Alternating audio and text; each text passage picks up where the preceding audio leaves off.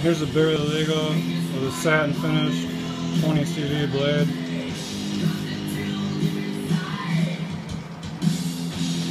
Boomerang Zirco-Ti.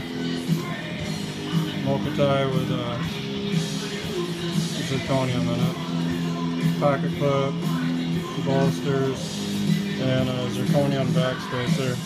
The silver lightning strike carbon fiber scales.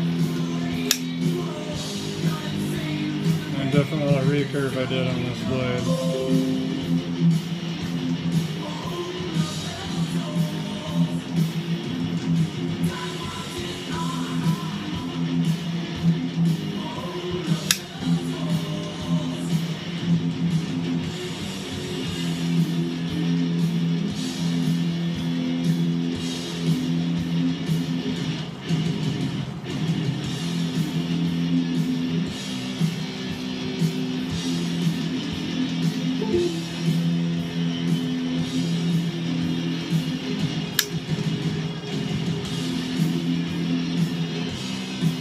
Satin finish gets fingerprints on it pretty easy.